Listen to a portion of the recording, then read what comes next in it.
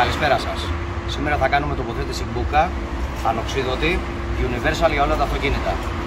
Για να κάνουμε τοποθέτηση θα πρέπει να μετρήσουμε τη διάμετρο της εξάρτησης όπως έχουμε μετρήσει εμείς για να βρούμε την κατάλληλη μπουκα για αυτό το αυτοκίνητο. Αφού έχουμε μετρήσει, θα πάμε να κάνουμε την τοποθέτηση. Ανοίγουμε τα διδάκια για να μπορούν να ανοίξουν τα δοντάκια το οποίο κάνει τη συγκράτηση επάνω στην μπουκα μας. Τοποθετούμε την μπουκα επάνω στο σημείο που θέλουμε είτε πιο έξω είτε πιο μέσα και απλά σφίγγουμε τα βιδάκια με ένα δεκαράκι. Πάμε να ξεκινήσουμε. Αφού βιδώσουμε από τη μία μεριά πάμε και από την άλλη μεριά. Η μπουκα μας έχει τοποθετηθεί. Αν σας άρεσε το βιντεάκι μας κάντε μας ένα like και μια εγγραφή στο κανάλι μας.